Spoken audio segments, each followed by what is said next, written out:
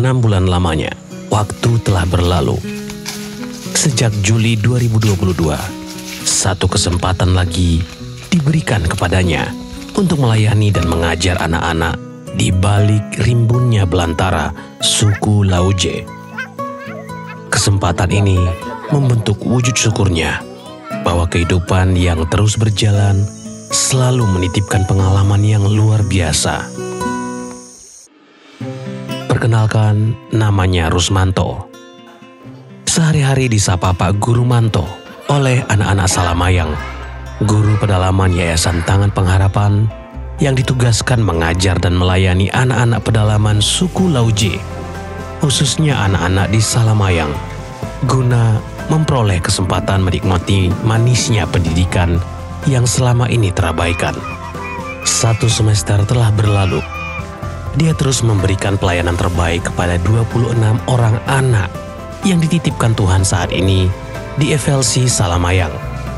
Terus menjadi pembawa perubahan yang berdampak baik bagi masyarakat yang belum banyak tersentuh akan informasi pendidikan, kesehatan, dan lain sebagainya.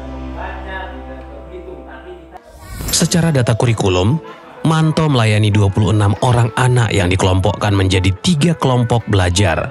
Kelompok siap-siap dan kelompok bunyi huruf sebanyak 18 orang anak. Kelompok kata-kata sebanyak lima orang anak dan kelompok baca-baca sebanyak tiga orang anak. Wujud syukur yang luar biasa baginya karena bisa melayani anak-anak beserta masyarakat di pedalaman suku Lauje dan melihat perubahan sedikit demi sedikit pada anak-anak didik dalam konteks membaca, menulis, dan berhitung. Dia juga merasakan langsung kepedulian orang tua terhadap anak-anak agar mereka terus ikut belajar, meskipun harus tinggal bersama di rumah kakek dan nenek yang lokasinya lebih dekat dengan FLC Salamayang.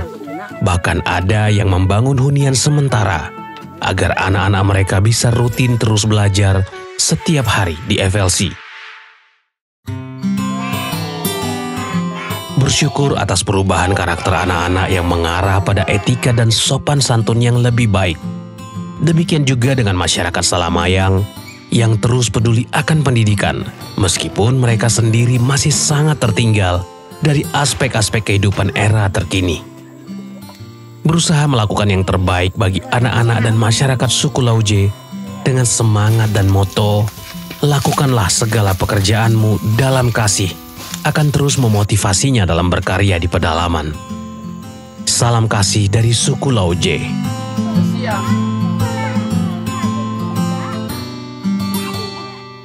Terima kasih kepada para donatur yang telah setia mendukung program sponsorship guru pedalaman di FLC Salamayang, Sulawesi Tengah. Kepedulian kita telah membangkitkan harapan bagi anak-anak di pedalaman Indonesia helping people live a better life.